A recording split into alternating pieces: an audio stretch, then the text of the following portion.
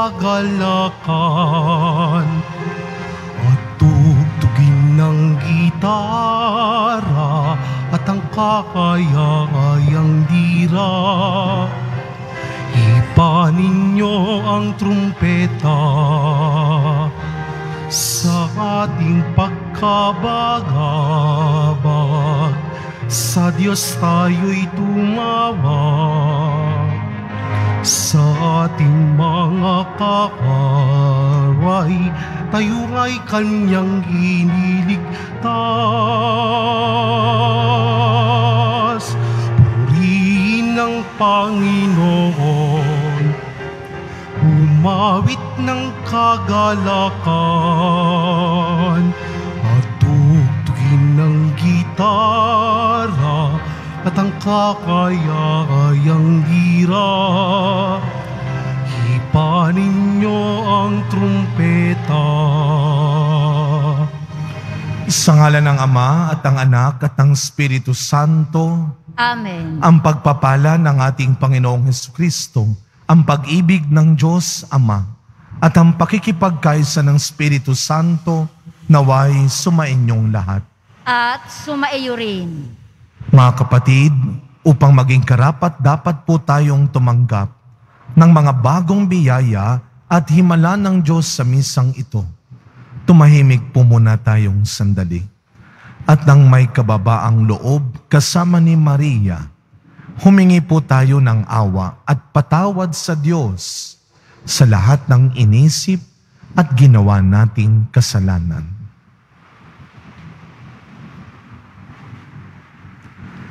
Sinugong tagapagpagaling sa mga nagsisisi, Panginoon, kaawaan mo kami. Panginoon, kaawaan mo kami. Dumating na tagapaganyayang mga makasalanay magsisi. Kristo, kaawaan mo kami. Kristo, kaawaan mo kami. Nakaluklok ka sa kanan ng Diyos Ama para ipamagitan kami. Panginoon, kaawaan mo kami. Panginoon, kaawaan mo kami. Kaawaan tayo ng makapangyarihang Diyos, patawarin tayo sa ating mga kasalanan at patnubayan tayo sa buhay na walang hanggan. Amen. Manalangin po tayo. Ama naming makapangyarihan, ang iyong paglingap ay di nagkukulang sa iyong pagsubaybay sa tanan. Iniluluhog naming iyong pawiin ang tanang makapipinsala at iyon nawang panatilihin ang pakikinabangan naming walang maliw sa pamamagitan ni Yesu Kristo kasama ng Espiritu Santo magpasawalang hanggan. Amen. Magsiupo muna ang lahat.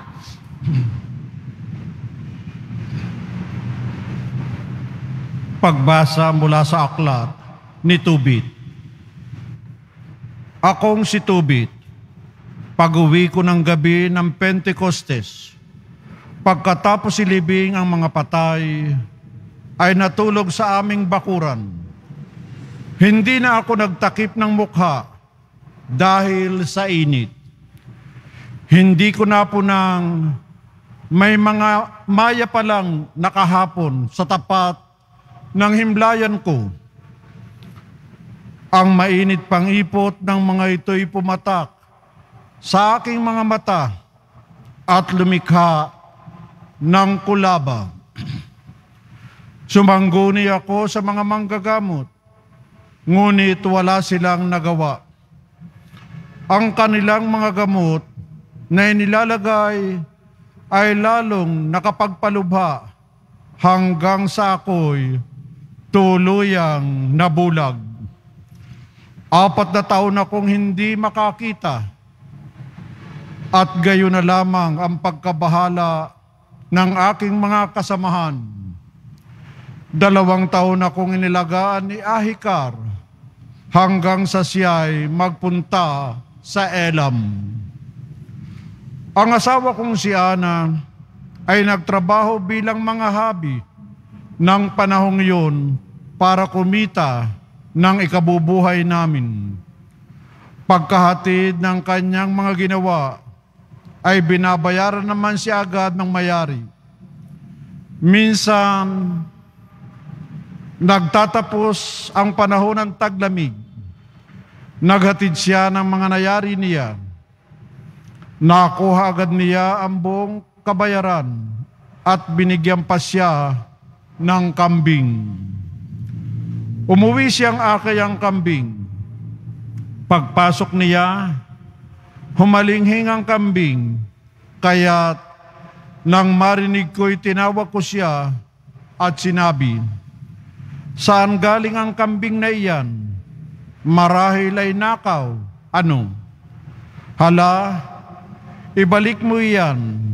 Hindi tayo dapat kumain ng nakaw. Ngunit ito ang tugon niya sa akin. Iyan ay dagdag sa upa sa aking ginawa. Hindi ko siya pinaniwalaan. Pilit kong ipinababalik ang kambing sa may-ari nito. Galit na galit ako sa aking asawa dahil dito. Kaya sinumbatan niya ako. Sinabi niya, Ngayon, nasaan ang iyong pagkakawang gawa? Nasaan ang mga ginawa mong kapuri-puri? Sa wakas, lumabas din ang tunay mong pagkatao.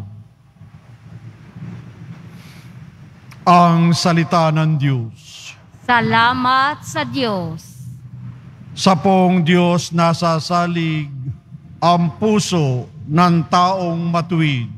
Sa poong Diyos nasasalig ang puso ng taong matuwid. Mapalad ang tao na may takot sa Diyos. Siyang sumusunod ng buong alindog. Ang kanyang lipi magiging dakila, pati mga angkan ay pinagpapala. Sa poong Diyos nasasalig ang puso ng taong matuwid. Anumang balita ay hindi siya takot. Matatag ang puso, may tiwala sa Diyos. Wala siyang takot, hindi nangangamba. Alam na babagsak ang kaaway niya. Sa poong Diyos nasasalig ang puso ng taong matuwid. Mabait na lubha, lalo sa mahirap. Ang pagiging matuwid ay di nagwawakas. Buong karangalan, siyang itataas. Sa poong Diyos nasasalig ang puso ng taong matuwid. Magsitayo na po ang lahat.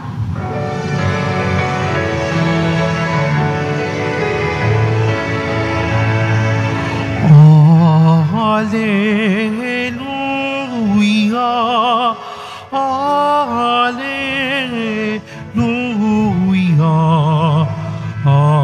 Alleluia, Alleluia.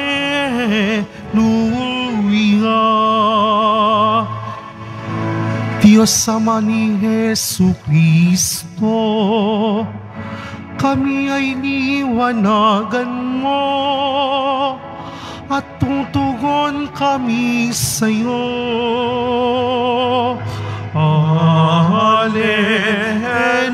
Alleluia,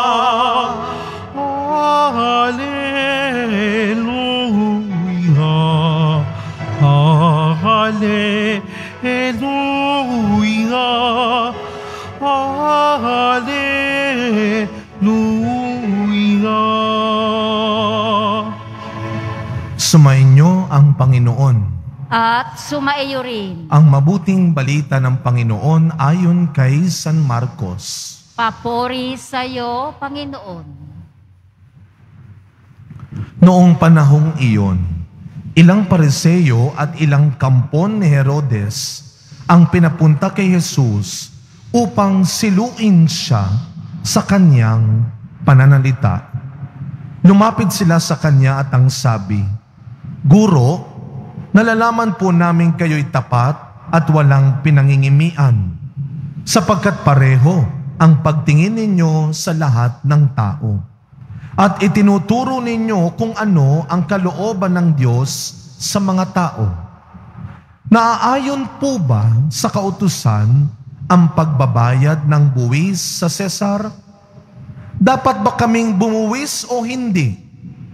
Ngunit batid ni Jesus na sila'y nagkukunwari.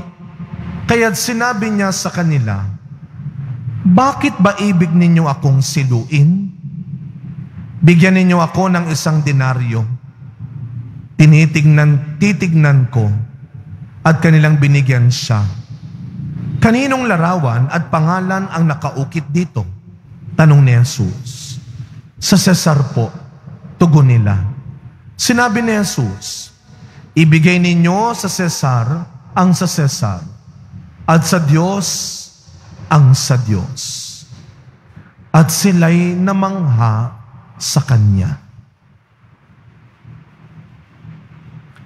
Mga kapatid, ang mabuting balita ng Panginoon. Pinupuri ka namin, Panginoong Heso Kristo. Magsiupo muna ang lahat.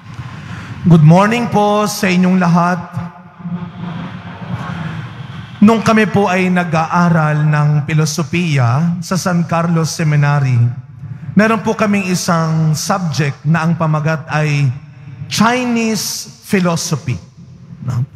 Ah, Marami pong mga magagandang kaisipan, karunungan ang tinuro sa amin. Mga kaisipan na magagamit natin sa pang-araw-araw na buhay. Napakasimple. May isa kaming lesson na ang tawag ay rectification of name. Rectification of name. Simple lang ang ibig sabihin niyan. Ibigay mo ang para sa Kanya, gawin mo ang sayo. Ah? Live according to your name. Title, role. Na lahat daw tayo binigyan ng kanya-kanyang, hindi lang pangalan, pananagutan, hindi lang abilidad, responsibilidad. Ibigay mo ang para sa Kanya, gawin mo ang sa iyo. Ah, mayroong isang English na kasabihan, medyo masakit pakinggan ko minsan. Pero totoo naman talaga. Mind your own business. Huwag kang pakialam ng pakialam sa buhay, sa trabaho ng iba. Ah, sa ating unang pagbasa, sa huling bahagi, nung nabulag si Tobit, ah, nung nabulag si Tobit bilang ama, hindi naman sinabi nung kanyang asawa, eh bahala ka, ikaw ang lalaki, ikaw dapat ang magtrabaho. Ikaw dapat ang bumubuhay sa amin. Ngunit, sa ganoong pagkakataon, hindi turuan ang solusyon. Tulungan. Kaya nagtrabaho ang asawa ni Tobit. Naging masipag, naging maayos ang pagtatrabaho. At nagkaroon ng bonus. Ang bonus, kambing. Pero anong ginawa ni Tobit? Pinagbintangan pa yung kanyang asawa. Ninakaw mo yata yan. Isauli mo yan. Hindi tayo kakain sa nakaw. Sabi ng asawa, ito po ay bigay ng aking amo. Marahil bilang bunga ng aking pagtsatsaga, pagtatrabaho ng mabuti. Ibibigay ang para sa iyo. Huwag kang nangaagaw ng hindi para sa iyo at hindi sa iyo. At huwag kang naiinggit at nagagalit kapag tinatanggap na ng iba ang gantimpala ng kanilang kabutihan. Your time will come. Yours will come. Darating ang para sa iyo. Kaya nga sa ating ibanghelyo, ito rin ang tinuturo ni Kristo. Ibigay ang para kay Cesar, ibigay ang para sa Diyos. Sa buhay natin, matuto tayong rumispeto sa kung ano ang pananagutan, responsibilidad ng ibang tao. May mga pagkakataon na darating sa buhay natin na tayo naman ang kailangang makinig, na tayo naman ang kailangang sumunod.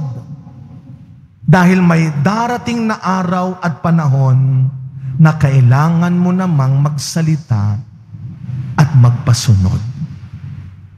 Simple lang at simplihan lang natin. sa pagkapatuloy na minsan natin mga kapatid, bilang mga Kristiyano, binibigyan tayo ng sariling kabutihan, ng sariling pananagutan ng Panginoon. At lagi nating tatandaan, alam ng Diyos, nakikita ng Diyos, hindi lamang ang panlabas na ginagawa natin, kundi ang tumatakbo sa kokote mo at ang tinitibok ng puso mo. Kaya tanging siya lamang ang makapagbibigay ng dapat sa iyo at para sa iyo. Amen. Magsitayo na po ang lahat.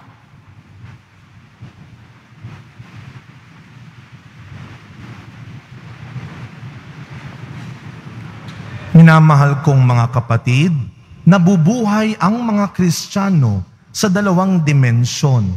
Mamamayan ng lungsod ng Diyos at mamamayan ng lungsod ng mundo. Manalangin tayo na maituon natin ang ating mga puso sa walang katapusang kaharian na darating para sa pangangailangan ng mundong ito. Ang ating pong itutugon, Panginoon, humimlay nawa ang aming puso sa iyo.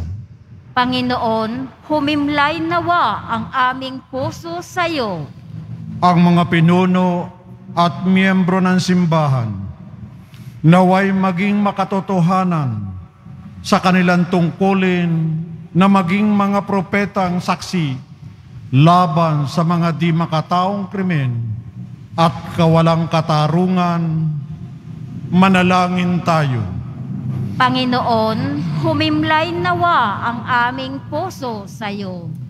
Ang mga pinuno ng mga gobyerno naway makatarungang gamitin ang mga bagay na para kay Cesar. Manalangin tayo. Panginoon, humimlay nawa ang aming puso sa iyo.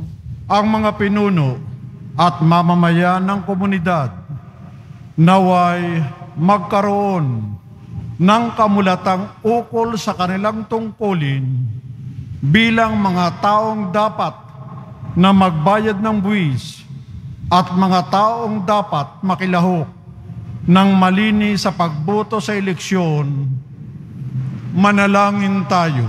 Panginoon, humimlay nawa ang aming puso sa iyo. ang mga may sakit naway maunawaan na nagiging isang dakilang biyaya ang kanilang paghihirap kapag iniugnay sa paghihirap ni Kristo. Manalangin tayo. Panginoon, humimlay nawa ang aming puso sa iyo. Yaong mga tumawid na sa pinto ng kamatayan, naway makarating sa walang hanggang lunsod sa langit, manalangin tayo. Panginoon, humimlay nawa ang aming puso sa iyo. Tahimik po nating ipagdasal ang iba pa nating personal na kahilingan habang ipinagdarasal natin ang mga kababayan nating biktima ng kalamidad, ang mga nawalan ng bahay at hanap buhay, ang mga bilanggo at mga katutubo, ang mga batang napapabayaan na, at ang lahat na may sakit na matatanda at miyembro ng ating pamilya, ang mga humihingi ng ating dasal, ang mga walang maayos na tirahan at makain, at ang mga kababayan nating nagtatrabaho sa ibang bansa para sa kanilang pamilya.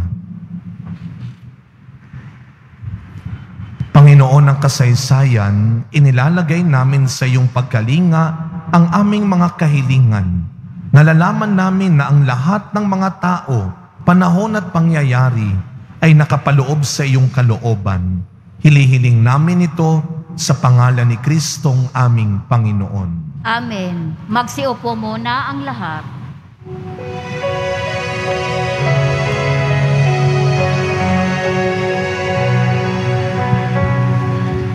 Handog namin sa iyo, Ama, ang tinapay at alak na ito. Handog ng bayang umasa, sumasambat, nagmamahal sa'yo. Handog namin sa iyo, Ama, ang tinapay at alak na ito. Handog ng bayang umasa, sumasambat, nagmamahal sa'yo. Magsitayo na po ang lahat. Manalangin kayo mga kapatid upang ang paghahain natin ay kalugdan ng Diyos amang makapangyarihan. Tanggapin nawa ng Panginoon itong paghahain sa iyong mga kamay sa kapurihan niya at karangalan sa ating kapakinabangan at sa buong sambayanan niyang banal. Ama naming lumikha, sa iyong katapatan kami nagtitiwala. Ngayong ang mga alay ay aming inihahanda at inihahain dito sa banal mong dambana. Sa kagandahang loob mong sa aming dumadalisay, kami naway makaganap ng may malinis na kalooban sa pamamagitan ni Yesu Kristo, kasama ng Espiritu Santo, magpasawalang hanggan. Amen. Sumainyo ang Panginoon. At sumaiyo rin. Itaas sa Diyos ang inyong puso at diwa. Itinaas na namin sa Panginoon. Pasalamatan natin ang Panginoong ating Diyos. Marapat na siya ay pasalamatan. Ama naming makapangyarihan, tunay nga pong marapat na ikaw ay aming pasalamatan. Sa iyong paglingap at kagandahang loob, ang tao'y nilikha mo't pinangangasiwa sa sansinukob. Sa hangad mong siya'y iwastong lubos, siya'y pinagdusa mo sa kanyang pagtalikod. Sa iyong paggiliw, iyong ipinahintulot na makabalik siya sa pamamagitan ni Kristo Jesus. Kaya kaisa ng mga anghel na nagsisiawit ng papuri sa iyo nang walang humpay sa kalangitan, kami nagbubunyi sa iyong kadakilaan. Santo, Santo, Santo, Panginoong Diyos ng mga hukbo, napupuno ang langit at lupa ng kadakilaan mo, usana sa kaitaasan. Pinagpala ang naparirito sa ngalan ng Panginoon, usana sa kaitaasan. Magsiluhod po ang lahat. Ama naming banal, ikaw ang bukal ng tanang kabanalan.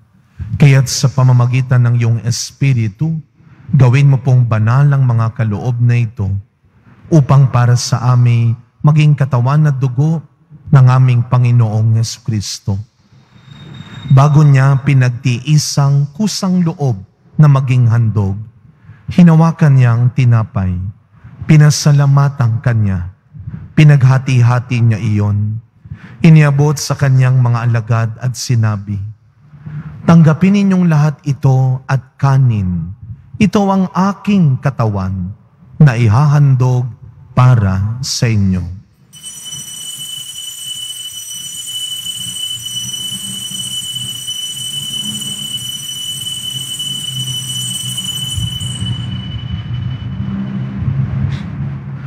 Gayun din naman nung matapos ang hapunan, hinawakan niya ang kalis, muli kanyang pinasalamatan. Iniabot niya ang kalis sa kanyang mga alagad at sinabi, Tanggapin ninyong lahat ito at inumin. Ito ang kalis ng aking dugo, ng bago at walang hanggang tipan. Ang aking dugo na ibubuhos para sa inyo at para sa lahat sa ikapagpapatawad ng mga kasalanan. Gawin ninyo ito sa pag-alala sa akin.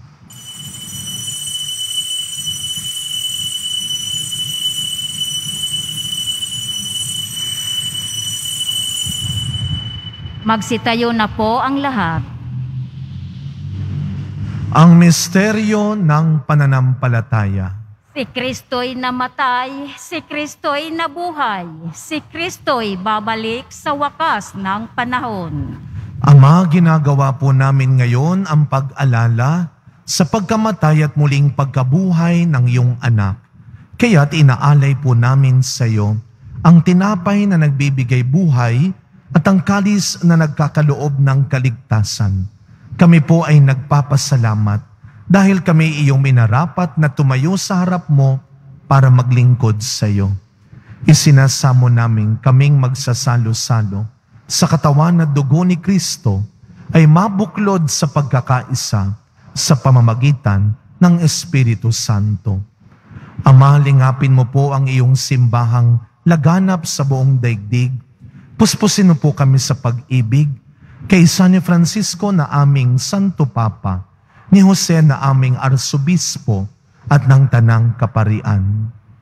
Alalahanin mo rin po ang mga kapatid naming nahimlay nang may pag-asang sila'y muling mabubuhay, gayon din ang lahat ng mga pumanaw.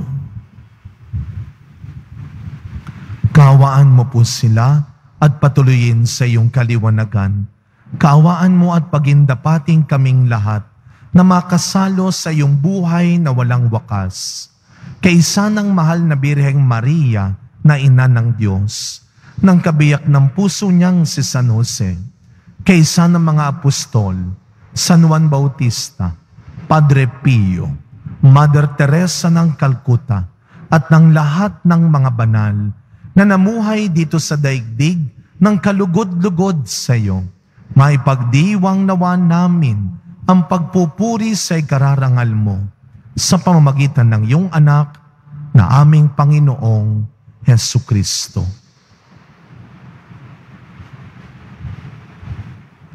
Sa pamamagitan ni Kristo kasama niya at sa Kanya, ang lahat ng parangal at papuri ay sa iyo, Diyos samang makapangyarihan, kasama ng Espiritu Santo, magpasa walang hanggan. Amen. Amen. Amen. Bilang mga anak ng ating mapagpatawad na Ama sa langit, buong tiwala nating dasalin ang panalangin turo ni Kristo. Ama namin, sumasalangit ka, Sambahin ang ngalan mo, mapasa amin ang kaharian mo, sundin ang loob mo dito sa lupa para nang sa langit. Bigyan mo kami ngayon ng aming kakanin sa araw-araw at patawarin mo kami sa aming mga sala para ng pagpapatawad namin sa nagkakasala sa amin at huwag mo kaming ipahintulot sa tukso at iadya mo kami sa lahat ng masama. Hinihiling po namin kami adya sa lahat ng masama, pagkalooban ng kapayapaan araw-araw, iligtas sa kasalanan at ilayo sa lahat ng kapahamakan, samantalang aming pinananabikan ang dakilang araw ng pagpapahayag ng tagapagligtas naming si Heso Kristo. Sapagkat iyo ang kaharian at ang kapangyarihan at ang kapurihan magpakailanman. Amen. Panginoong Kristo, sinabi mo sa iyong mga apostol, kapayapaan ang iniiwan ko sa inyo, ang aking kapayapaan ang ibinibigay ko sa inyo. Tunghayan niyo po ang aming pananampalataya at wag ang marami at paulit-ulit naming pagkakasala. Pagkalooban mo po kami ng kapayapaan at pagkakaisa ayon sa iyong kalooban, kasama ng Espiritu Santo, magpasawalang hanggan. Amen. Ang kapayapaan ng ating Panginoon ay laging sumainyong lahat. At sumaiyo rin. Kahit anong mangyari, huwag mong hayaang sirain ni numan o ng anuman ang iyong kabutihan. Magbigayan pa rin po tayo ng kapayapaan sa isa't isa. Peace be with you po. Kordero ng Diyos na nag-aalis ng mga kasalanan ng sanlibutan, maawa ka sa amin. Kordero ng Diyos na nag-aalis ng mga kasalanan ng sanlibutan, maawa ka sa amin. Kordero ng Diyos na nag-aalis ng mga kasalanan ng sanlibutan, ipagkaloob mo sa amin ang kapayapaan. Magsiluhod po ang lahat.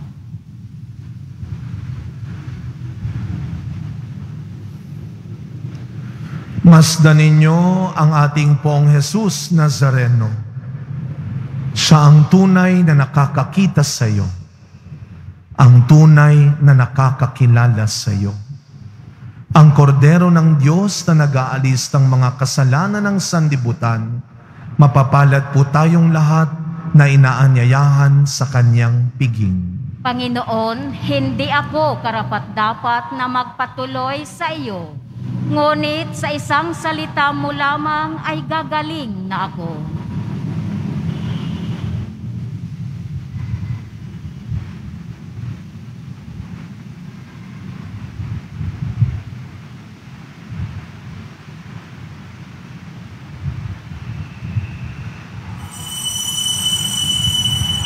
Para sa lahat ng tatanggap ng banal na komunyon, sasagot po tayo ng amin pagkasabi ng pari o ng lay minister ng katawan ni Kristo at isobo agad sa bibig bago umalis sa harapan ng pari o lay minister. Sumunod po tayo. Maraming salamat po.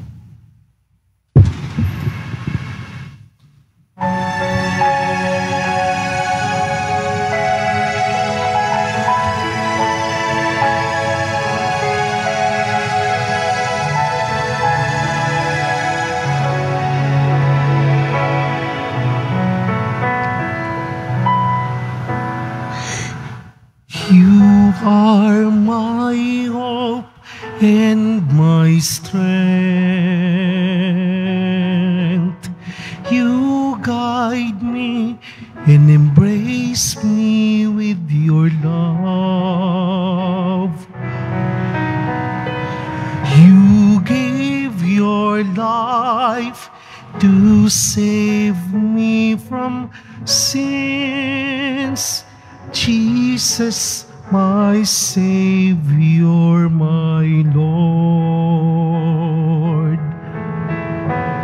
I will proclaim that you are my God, the God of mercy and the giver of life.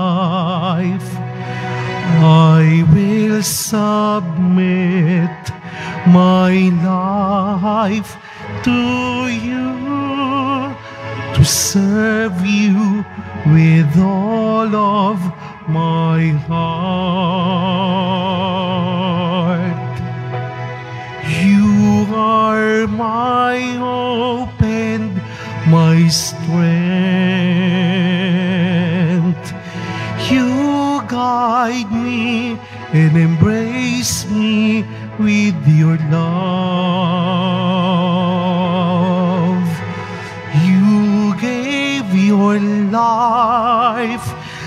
save me from sins.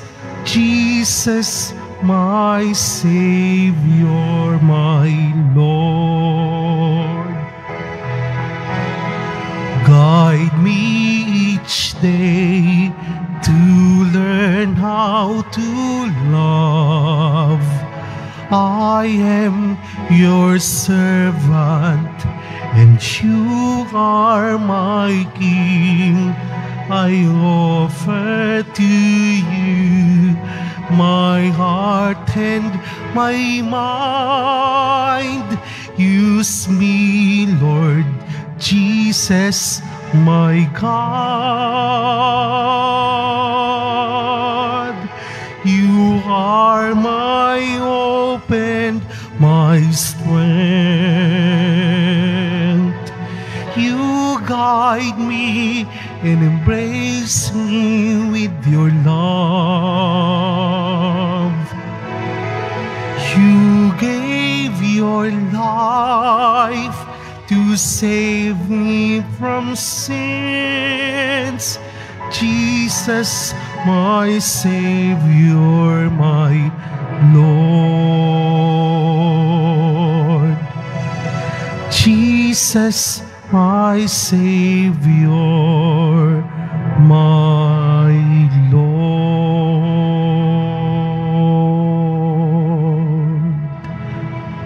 Announcement sa darating na June 17, 2023, Sabado. Magkakaroon po tayo ng binyagang bayan, handog sa kapistahan ng kapanganakan ni San Juan Bautista.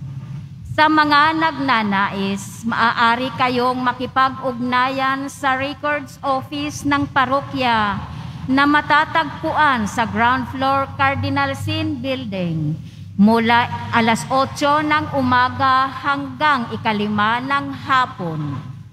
Maaaring hanapin si na Miss Shirley o Miss Jocelyn, record staff ng parokya, para sa mga detalye. Maraming salamat po. Pinapaalalahanan ang lahat na huwag maging kampante sa banta ng COVID-19. Bagkos, dapat natin ipagpatuloy ang tamang pagsunod sa minimum public health standards. Pagsusuot ng tamang face mask. Pagkatapos ng misa, wiwisikan po ang lahat ng banal na tubig.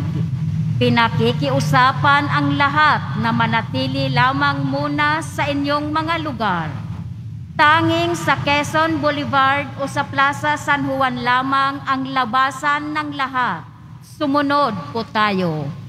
Maraming salamat po sa inyong pagdalaw at pagsisimba sa Basilica Minor ng Itim na Nazareno.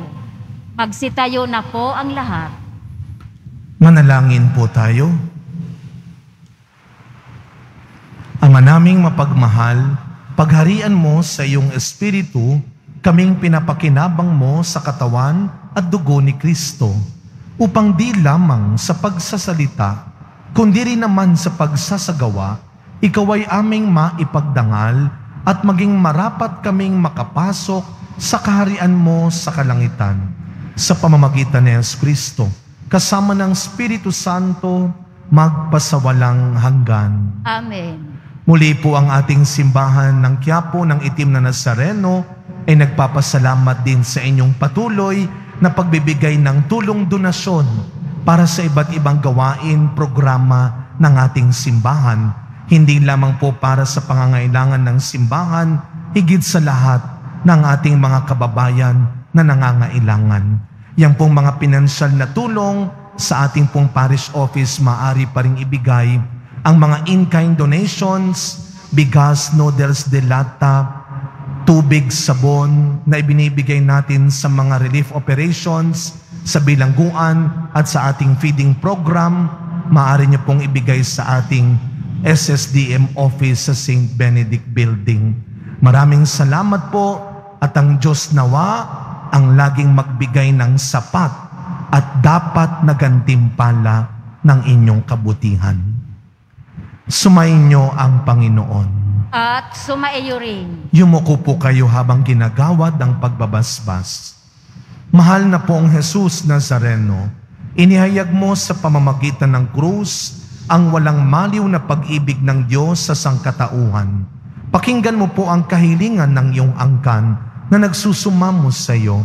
Makamtam nawa nila ang iyong katugunan at tanggapin ang kasagutan na may utang na loob na tinatanaw.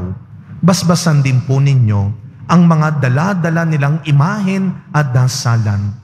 Sa pamamagitan ng bendisyon na ito, naway maalaala nila ang mga pangako nila noon sa binyag na ikaw ay kanilang iibigin at paglilingkuran bilang Panginoon magpasawalang hanggan.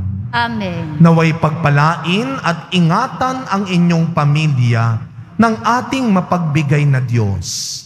Ama, Anak, at Espiritu Santo. Amen. Tapos na po ang ating pagdiriwang, humayo kayong taglay ang pag-asa ng poong Jesus Nazareno. Salamat sa Diyos.